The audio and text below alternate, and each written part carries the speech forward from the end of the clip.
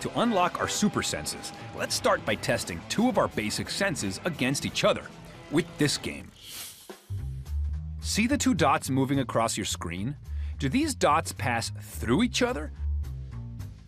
Or do they bounce off one another and change direction? What do you think?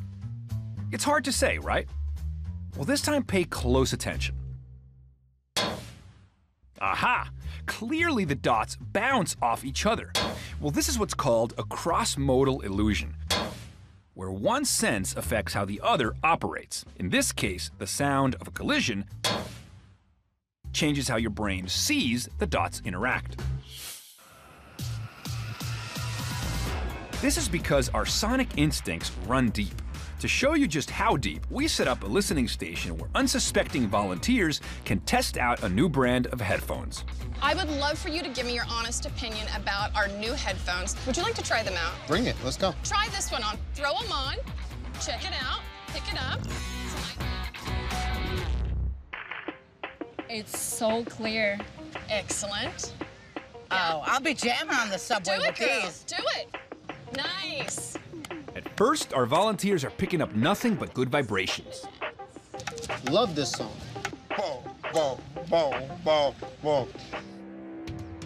What they don't realize is we are controlling what they hear from behind the set. But what do you think will happen if we mix in some unsavory sounds? Offering up a selection of noises ranging from the merely obnoxious to get me the heck out of here.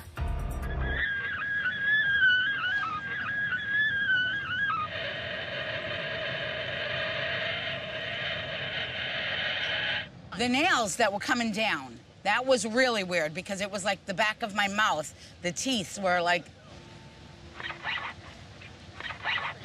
Now it's like a balloon. Okay. Oh, you love that one. Is it Spice Girls? Mm-hmm. It pierced through my soul. Oh! The styrofoam starts on my back, and it just works its way up like this. And then it comes up here, and then it's in my head. Oh, I hate it. Yeah. Yeah, I don't like that. So it's, it sounds like something. Sorry. What, what happened? Somebody's throwing up. When I heard the barf, I felt it in my body, like right here in my stomach. That made me nauseous. So, what's going on here? Why do we have such a physical reaction to nothing more than an unpleasant noise? How does your brain sense sound? And why does it respond so physically to some sounds, but not to others? Measured in something called hertz.